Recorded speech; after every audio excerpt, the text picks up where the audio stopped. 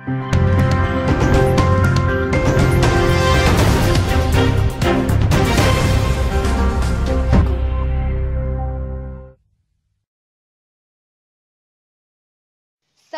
कीजिए B news channel को और सबसे पहले ताज़ा खबर जानने के लिए इस बेल आइकन को भी दबाएँ। नमस्कार, मैं हूँ ब्रजेश कुमार सिंह और आप देख रहे हैं बी न्यूज़ आज पूरे भारत में स्वच्छता का त्यौहार मनाया जा रहा है। जी हाँ आपने सही सुना कि पूरे भारत में स्वच्छता का त्यौहार मनाया जा रहा है।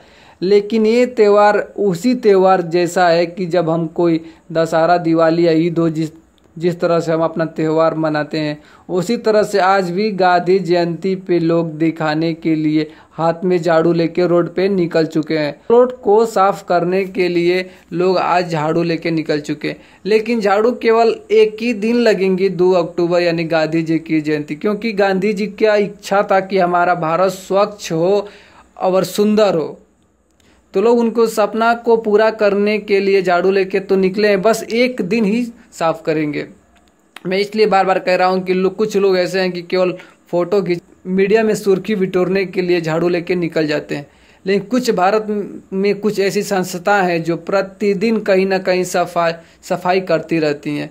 इसी तरह के बनारस में भी एक संस्था है, सूर्या फाउंडेशन, जो प्रतिदिन बनारस यानी काशी में कहीं ना कहीं साफ़ सफ़ाई करती रहती है।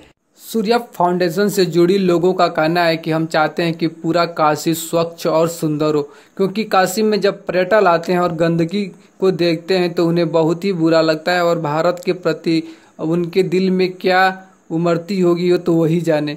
लेकिन लोग बनारस को एक धार्मिक स्थल से जानते हैं, इसलिए हम चाहते हैं कि पूरे काशी को साफ़ और सुंदर बनाएँ। बी न्यूज़ से बात करते हुए जनार्दन जी ने बताया कि जब से सफ़ाई का माहौल फैला है, तभी से लगभग 50 परसेंट बीमारी कम हो गई है और हम सभी लोग चाहते हैं कि यह ऐसी ही हवा फैली रहे और भारत को लोग इसी तरह से साफ़ सुथरा करते रहें। यदि यह सफ़ाई का माहौल ऐसे ही बनी रही तो कुछ ही दिनों में बीमारी का नामो निशान मिट जाएगा और भारत में लोग पूरी तरह से स्वच्छ हो जाएँगे।